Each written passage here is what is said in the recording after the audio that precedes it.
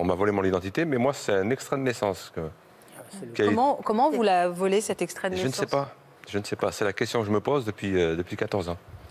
Moi, mon usurpateur a une vraie carte d'identité, Eh oui. délivrée par une vraie préfecture. De vous, avec votre visage Non. Non, avec sa photo Avec lui, sa photo, mais mais votre nom. Mon nom, prénom, date, date de naissance, lieu de naissance. Il a été fait une, il a été faire une pièce d'identité avec votre extrait de naissance. Oui. Mais ah bah oui, en même temps, si vous arrivez avec un extrait de naissance, c'est- Ça, c'est bien pire, si Oh je puis là. dire, que de voler un document d'identité, parce que ça permet d'avoir un vrai bah faux en fait vous avez un vrai d'identité. faux, voilà, vous avez une vraie pièce d'identité. Enfin, cet homme-là a une vraie pièce Il y d'identité, a deux sauf que c'est personnes en. France qui ont la même identité. Et c'est toujours le cas aujourd'hui? Oui. Mais attendez, une fois que vous avez été déclaré victime et une fois qu'on a voilà, pu constater qu'il y avait vraiment eu usurpation d'identité, encore une fois, on est au même problème, on ne peut pas annuler sa pièce d'identité à lui. Non. Donc il y a toujours quelqu'un aujourd'hui, un euh, homonyme, Oui. qui porte votre nom, C'est c'est ça. mais qui n'est pas vous. Mais qui n'est pas moi. Mais c'est à nous de prouver qu'on est nous. Ça a commencé comment? Vous aussi, vous avez eu un coup de fil qui vous a fait tout comprendre? Moi, ça a commencé en 2006. Ça a commencé en 2006, les, euh, les impôts de... Moi, j'habite dans l'Allier, Ouais. à Vichy.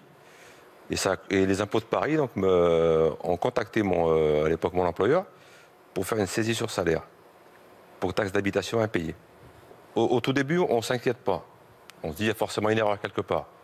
Donc, quand vous appelez, quand vous contactez le service des impôts à Paris, donc, euh, donc, qu'est-ce qu'on vous répond? Mais monsieur Ayad Nasser, qui est né tel, tel jour à, à tel lieu, il n'y en a pas beaucoup en France. Il n'y en a qu'un.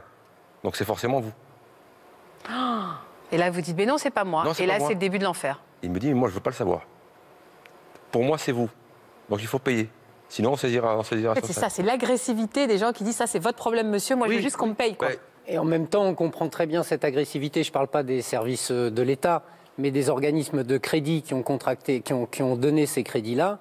À partir du moment où il y a un problème d'usurpation d'identité, ils savent très bien que ou bien ils font plier la personne qui n'est pas le débiteur, mais qui pourtant est celui qui a l'identité qui correspond au crédit, ou bien ils récupéreront rien. Ah, bah ouais. Oui, c'est ça. Ah ouais, ils sont obligés. Donc il y a cette pression-là, Oui. et quelque part, cette pression, euh, c'est ça qui rend les choses bien difficiles pour nos invités, et en même temps, on pourrait se dire, ces, que- ces organismes de crédit, ils devraient peut-être faire un peu attention à la manière dont ils accordent ces crédits.